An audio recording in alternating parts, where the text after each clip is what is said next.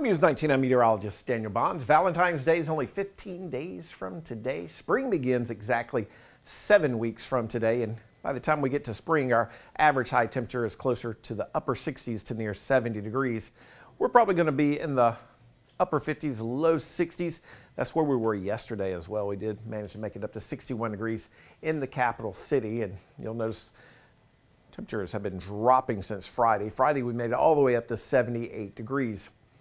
71 on Saturday. Did have a little bit of rain on Saturday, 27 hundredths of an inch of rain, and we've had two confirmed tornadoes. Now, at this point, the latest confirmed tornado was over in Richland County. This was an EF1 tornado that impacted parts of the northeast part of Richland County. So, no injuries reported with that one. Had winds of about 90 miles per hour, kind of a short lived storm, but two tornadoes so far confirmed in the Midlands on Saturday. Low temperatures going to be a little bit warmer tomorrow. We've got some clouds that are going to be moving in. Rain will be moving in, and so temperatures will be a little bit higher. And then our low temperatures will drop back down into the low to mid 30s. It looks like Thursday. That's close to normal for this time of the year. Our average low temperature is close to about 35 degrees. For today, we're expecting mostly sunny, seasonal conditions. Just mentioned it, some rain very early Wednesday. It will be a little bit cooler Wednesday too with the clouds. Today, expecting highs in the mid to upper 50s, low 60s, probably a little bit warmer in the southern half of the Midlands. This is midnight though. Clouds start to build in. You'll notice that chance for some rain, 2 o'clock Wednesday morning. This is 4 o'clock, and then by the time the sun rises Wednesday morning, most of the rain is out of here. Clouds may stick around through a large portion of the day. As we get to Thursday, though, we do expect a good bit of sunshine once again. Next best chance for rain after tonight and early Wednesday morning will be Sunday, and there will be a chance for rain on Monday as well.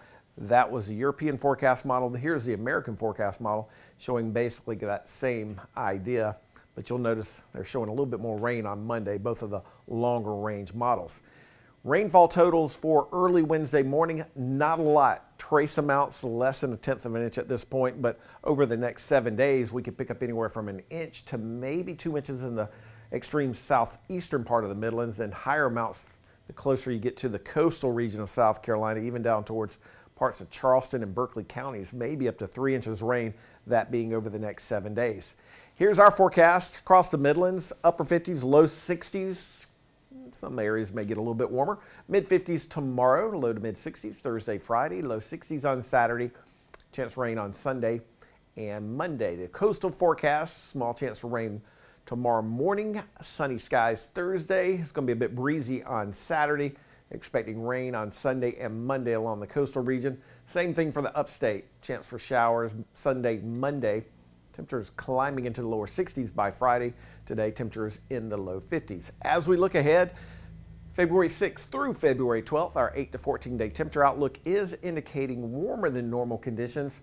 As far as rainfall amounts are concerned during that time, same time frame, near normal conditions for us here across South Carolina, a little bit out towards our west.